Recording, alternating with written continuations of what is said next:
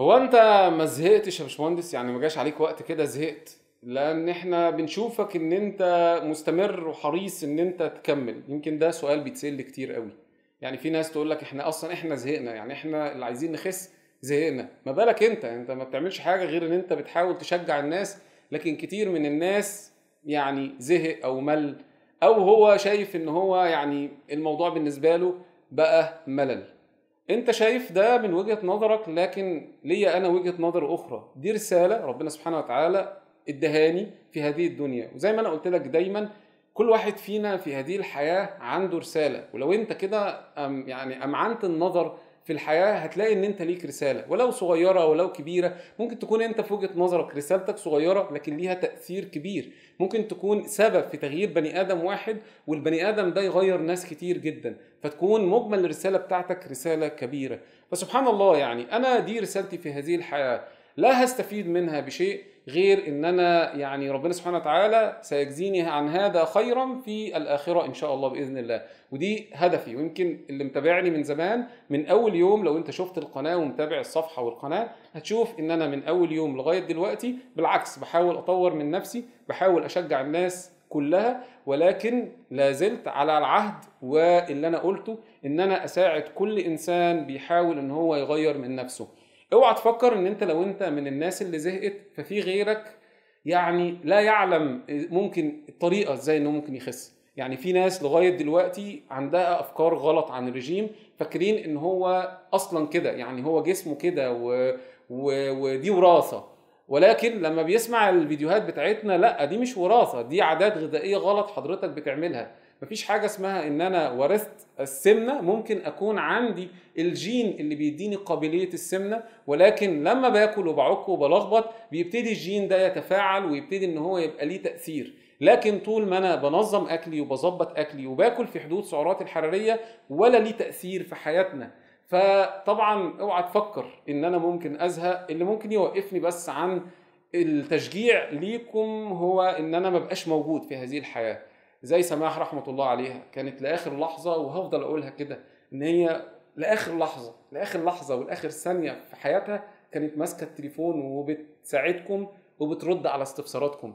فأسأل الله إن يجعل خاتمتنا يعني وإحنا بنساعدكم وإحنا معاكم لأني والله دي نيتنا خالص الله عز وجل. ويمكن فريق عمل لو نفسك تخس لو أنت عرفتهم واحد واحد هتشوف قد إيه الناس دي كلها طيبة وقد إيه الناس دي فعلا عايزة تساعد غيرها بشكل كبير جدا. الفترة اللي جاية وفي شهر سبتمبر هيكون عندنا رحلة. الرحلة دي لمدة أربع أسابيع خلال شهر سبتمبر. شهر سبتمبر يمكن بعد الصيف بيبقى الواحد طالع من الصيف للأسف الشديد وزنه زيادة قوي. نتيجة بقى العك والخروجات ال ال ال إن أنت بتبقى تحت تأثير اللي هو بقى إيه العشوائية في التعامل مع النفس إن أنت ما بتعرفش تنام كويس نومك مضطرب فبالتالي هرموناتك مضطربة فبالتالي بتعك كتير بتبوظ ما بتعرفش تصحى من النوم بدري فبتصحى متأخر ما بتبقاش عايز تاكل فبتيجي تاكل بالليل كتير أكل بالليل غلط فهرموناتك مش متظبطة فتلاقي الدنيا عندك مش متظبطة تماما.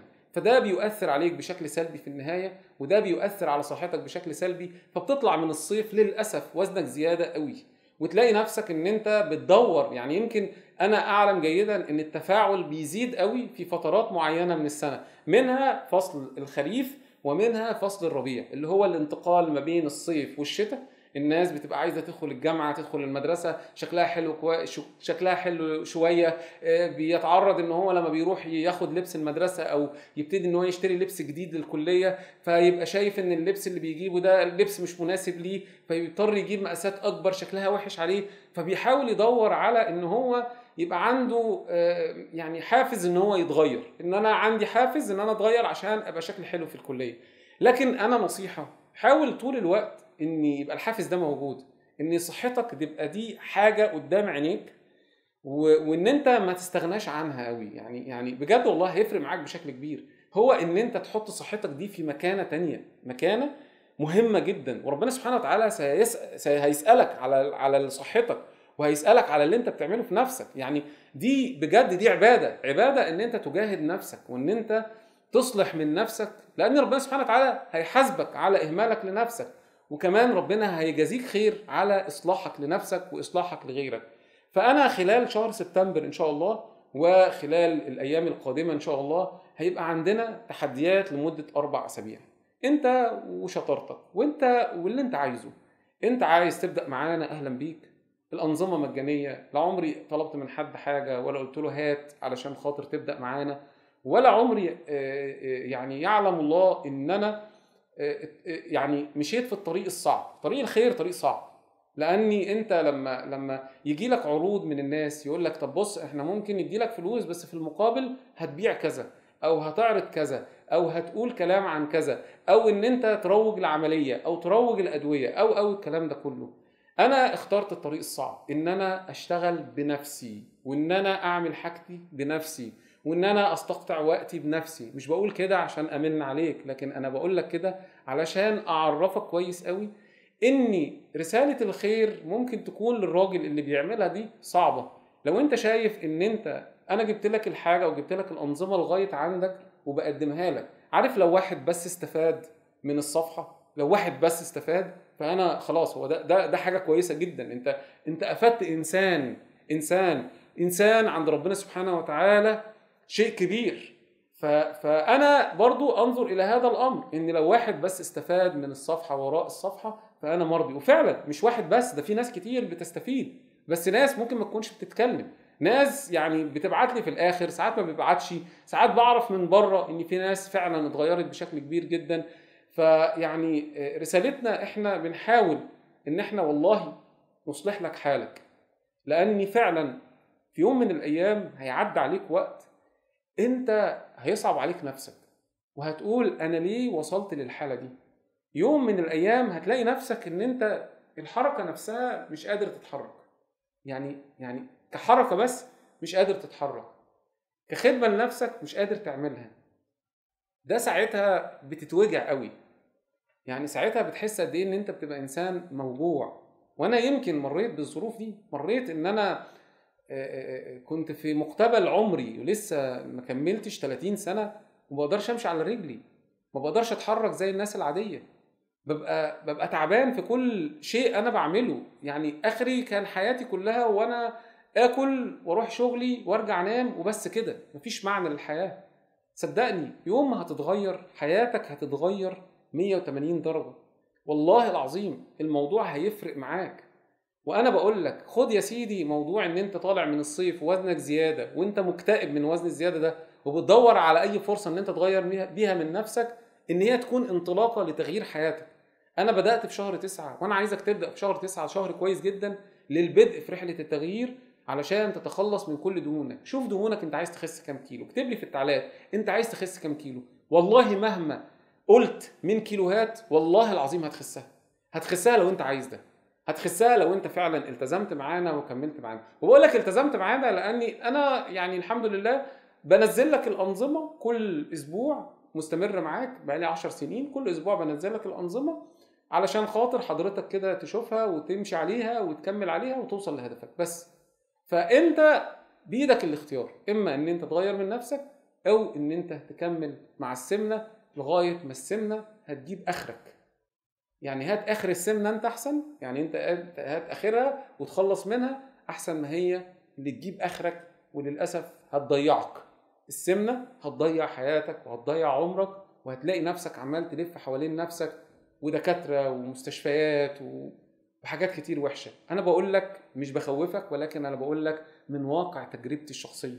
من واقع إنسان جرب وعاش التجربة من واقع إنسان لما جرب وعاش التجربة واتوجع وخد فعلا شلوت جامد قوي من السمنة ابتدى يجري ابتدى يغير من نفسه ابتدى يطور من نفسه عشان يساعد غيره لوجه الله عز وجل.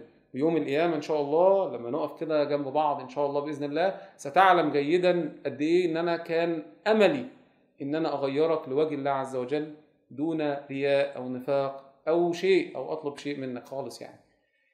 ربنا يبارك فيكم جميعا ويا رب كده الرسالة دي تكون بمثابة رسالة إلى القلب من القلب إلى القلب. رسالة من إنسان محب ليك. ممكن تكون أنت أنا ما شفتكش وأنت عارفني كويس لكن أنا ما شفتكش. لكن والله العظيم دايما بتكلم وكأني شايفكم. ممكن ما أكونش عارف ملامحكم لكن حاسس بيكم وحاسس باللي أنتوا بتعاني منه مع كل لحظة.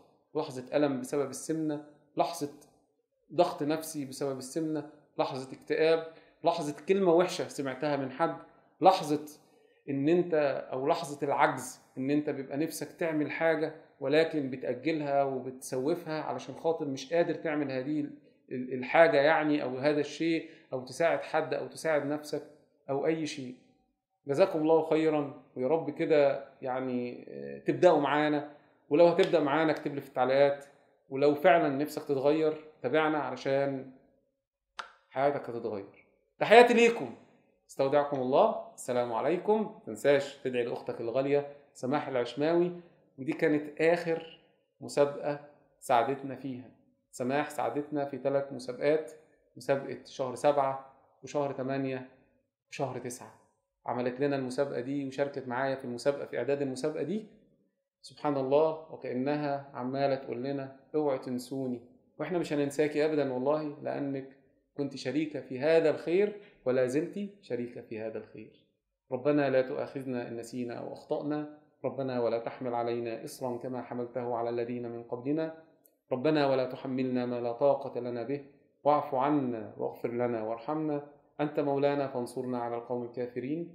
اللهم آمين. اللهم انصر إخواننا في لبنان وفي فلسطين وفي العراق وفي ليبيا وفي اليمن وفي السودان. وفي العراق وفي كل مكان. اللهم آمين. استودعكم الله. السلام عليكم.